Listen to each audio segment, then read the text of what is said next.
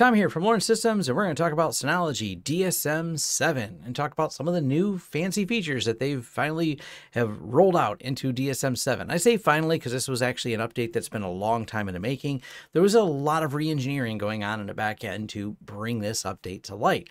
And I started as a beta tester on it, and the beta test went so well, and now it's in full production. And yeah, I figured it's time to talk about it. It was actually a pretty smooth transition uh, through all the updates. I didn't notice so far any major major problems, but that's what I wanted to cover to get more people on this version. And if there's any issues, be reporting them back over to Synology. Before we dive into those details, if you'd like to learn more about me and my company, head over to lawrencesystems.com. If you'd like to hire us for a project, including Synology Consulting, there's a hire us button right at the top. If you want to help this channel out in other ways, there's affiliate links down below to get you deals and discounts on products and services we talk about on this channel. And first, the machine we're going to be using here for the Synology DSM-7 is an RS1221 Plus that actually I have at home right now. Uh, it's been a solid system for the things that we've been running, and we'll be covering some of the details and some of the testing in there and talking about some of the new features they have in there. And I want to bring up this is the latest DSM as of today, July 19th, 2021, DSM 7.0 41890. Let's jump over to the release notes, which are for this exact version. And there's even a bulletin release about some updates for DSM 7041890. And they were updates to fix SAN Manager, Active Insights, and SMB service. So hopefully you got the latest on those. These are some new features, specifically Active Insight is, and it is a way to well, we'll show you offer active insights and kind of monitoring for the system. But let's go to before you update. The update is expected to be available for all regions within the next few weeks. So if you are not seeing an update for your system, as it says here, wait a few weeks. After the installation of DSM-7, you will not be able to downgrade to a previous DSM version. I wanted to make sure that gets highlighted because with a new version, you can't easily roll back. And I say they oh, officially by Synology, the answer is you cannot roll back. My understanding from reading in some of the forum posts and talking to people, there's an unofficial way to try to get it rolled back. But either way, I want to say not a good idea because it's not officially supported by Synology. So don't you don't want to have to roll back. So make sure that everything that you want to do will work in DSM-7. And I say it like that because there are some things that have been deprecated, including Lots of USB devices are no longer supported, as in Wi Fi dongles, Bluetooth dongles, 3G, 4G dongles, USB DAC speakers, and DTV dongle. All these are no longer supported. DSM will end support for EXT3. We strongly suggest backing up the data stored on EXT volumes and transferring the data to volume supported file systems before the update. DSM-7 by default disables NTLM v1 and enables NTLM NTML v2 only. Now, that's important because that's basically the older version, you know, Windows XP media players and some older network printing systems. There's a lot of older stuff that's looking for that support and it has been removed. It's not the, something that Synology only has done. Uh, there's a lot of flaws in that particular protocol. It's old, it's deprecated all over the place. Uh, so Synology is just joining in on the systems that will no longer be supporting that by default. So I would definitely, if you have a need for that, yeah, you may have to wait. Now, NSF NFS v4.1 and related advanced functions multipathing are no longer supported on Synology NAS models with the following package architecture. Now, I bring this up too because it is also one of those use cases you may have if you're using this with multipath NFS. It's a fairly advanced feature, but it's missing now on these particular models. So that's going to be one of those things. It's an edge case, but you may have that edge case. These are really important things to know. So I wanted to cover these right at the beginning. Creating SSD caches on block level LUNs is no longer supported. Existing SSD caches LUNs will function normally after the update. I find it interesting that you can't create a new one, but it'll keep supporting them, but interesting. Uh, NT4 domains are no longer supported. Currently, NT4 domains will be unavailable after the update. The iSCSI manager is now that SAN manager, the update that we've seen in there. So they've changed name, but actually kind of looks the same. We'll cover that shortly. When you reconnect iSCSI targets from your VMware ESXi host, after a DSM update, the data stores on the LUNs that are mapped to the targets may not be mounted properly. This happens when LUNs to created before the update, and they have a VMware write up on how to get around that. Not a VMware user, so it's not something I run into. But overall, I would say this particular update, if you're using your Synology as a storage server, while there are some speed advantages they have with it, the important things to consider is going to be are you using this as a storage server, and do you have any of the edge cases that were mentioned here that would potentially break things because it's not like an update that you can roll to seven and just jump back to six because it didn't work the way you had hoped. So I really recommend if you're using this as a storage server or as a storage target for a hypervisor, specifically VMware here, that you really go through and make sure all of these edge cases have been met and that this will actually work with your configuration. And this particular one's kind of an oddball one, but something of note here. Video conversion to FLV and MPEG-4 Part 2 formats on the following models are no longer supported, so kind of an unusual drop that they had there. Now, Packages. This is where there's obviously a lot. Synology Moments and PhotoStation will be upgraded and merged as Synology Photos. Now, I'd previously done a video on Synology Moments, and I did that because videos I know a lot of people are probably going to stay in 6.2 for a little while. But yes, I will be doing a new video on Synology Photos, and that's what I started using. So I started with Moments and dumped a lot of data in there. Then I let it merge and migrate over to Photos. So the Photos app is the new unified app as opposed to the way they had it set up before with the two apps.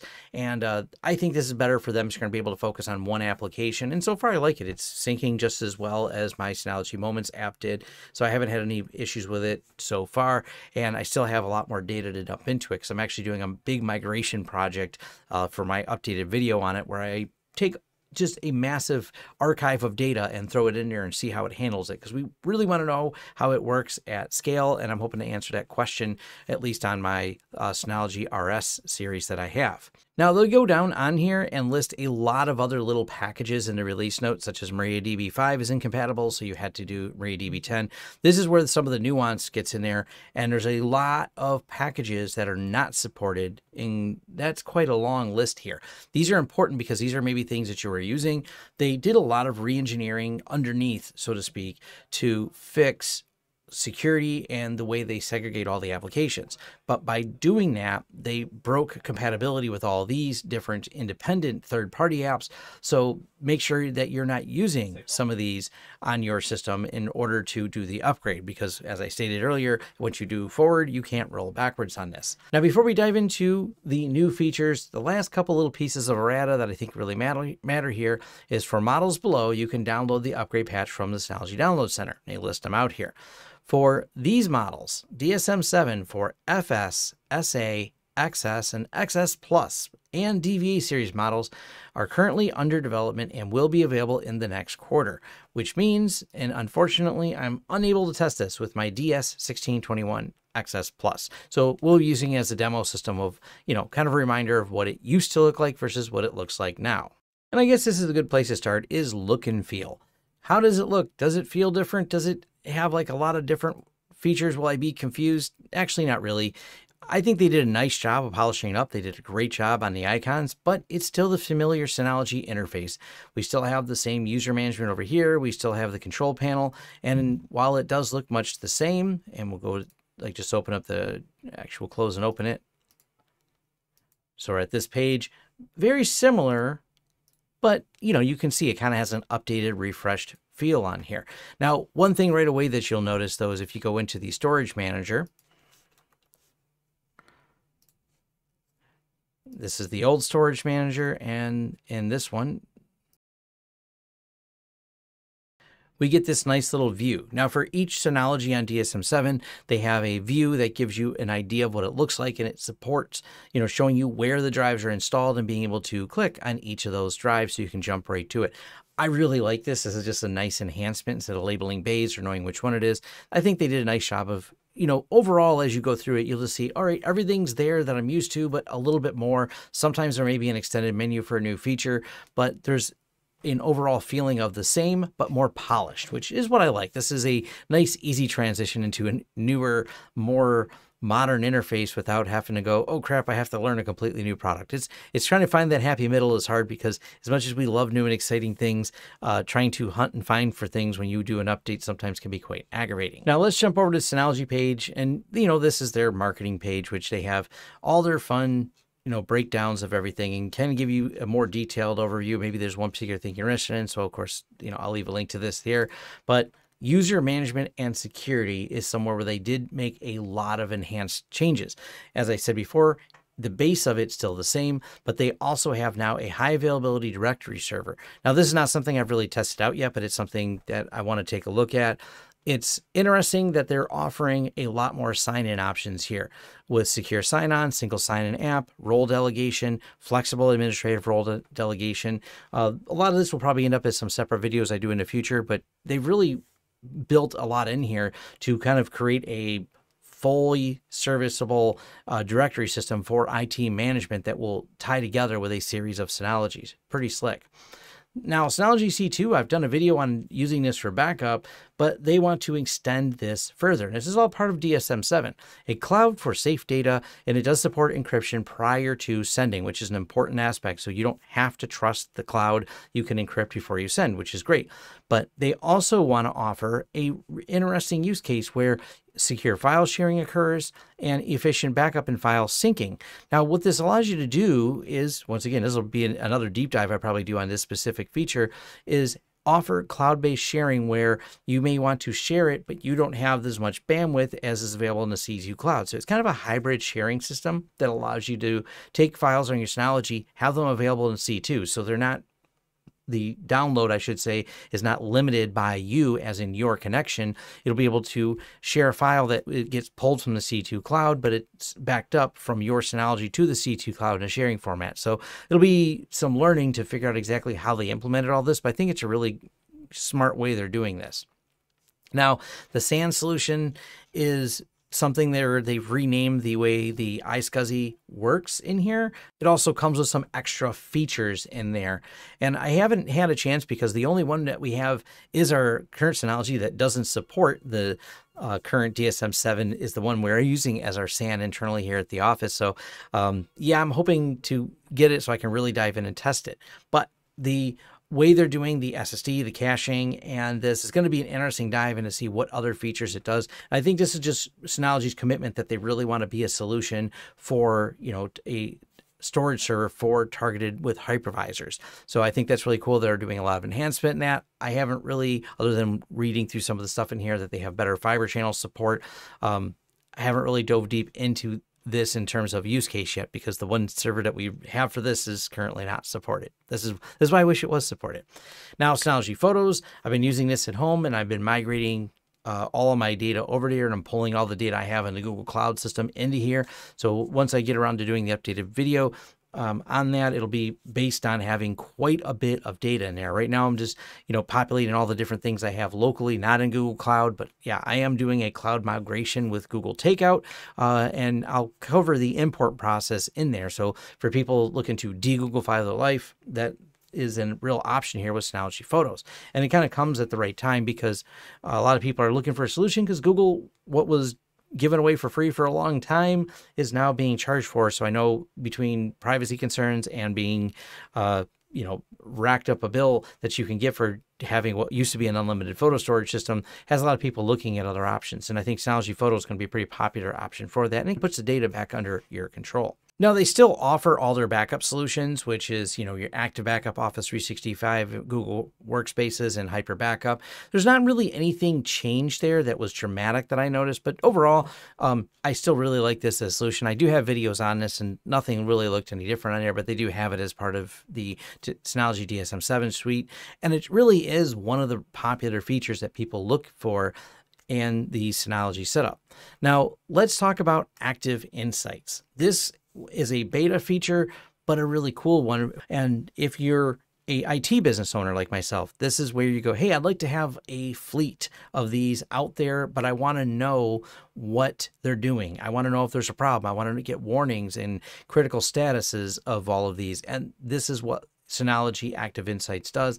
It lets you look at events, if there's any drive issues, how much storage is used on each of these systems, and it's only supported in DSM-7. So as DSM-7 rolls out, I think this is going to be a more important role here, but I like that it gives you statistics. So each one of these are sending those stats to it. It's an opt-in for those of you that don't want to send any stats to Synology, but that's perfectly fine. That's what you're looking for from an IT management standpoint if you have lots of these out in the field. Currently, these are just our in-house ones for testing that we have tied to this Active Insights account, but I think this is a pretty cool feature sure where they're going with this, and it's something that I'm looking forward to to see how it's developed. And it's just my understanding, at least, is it's going to be free, but free for up to 50 hosts. So even if you are a home user, you're going to be able to have a pretty decent amount of insights. And once you have over 50, I'm not sure how they're exactly going to uh, offer different subscription plans. It's all in beta right now, but I still think this is kind of cool.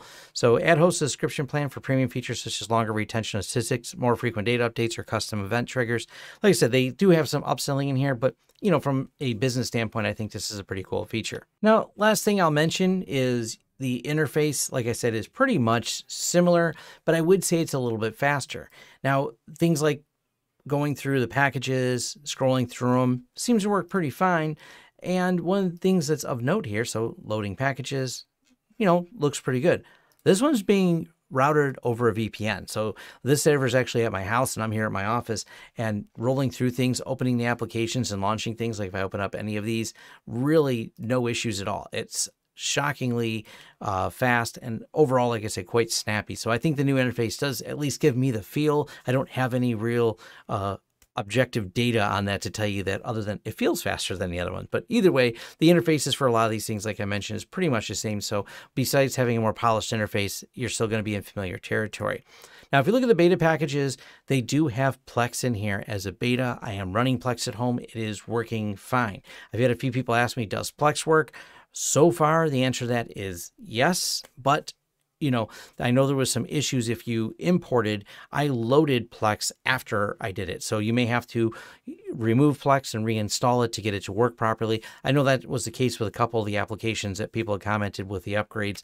I know Plex went through a couple updates as well um, that I've loaded, and they have all loaded fine, but I didn't have any problems with it. But I also didn't load uh, DSM6, load Plex, and then DSM7. I loaded DSM7 and then loaded Plex. So that may be why I had less trouble with it. But overall, my data was still there, so it didn't really matter. And I moved it over from another server that I had at home with all my Plex media and imported it. So that overall went pretty good. I may do some videos on it because there's a couple ways you can link your data, uh, pulling it from another server and copy it in here. I think Synology did a good job of making that easier, but there's going to be a lot to cover when you talk about future future videos in here because there's you know all those little nuance changes in some of the new features. But overall, I don't see a reason unless you have one of those edge cases mentioned at the beginning of the video, um, not to upgrade to Synology. If you are not using any of those or you don't have a need for the USB dongles, I think this is a great upgrade overall. One thing I will comment on I thought was pretty cool, and actually close this, and we're going to go here to the Synology account, is when you tie this to your Synology account, enable Active Insight and Performance Metric Collection, also, it can do backups on here. As you sign in your Synology account, Quick Check DNS and configuration, automatic backup of your Synology NAS, all happens in there. I think this is pretty cool that they're offering this.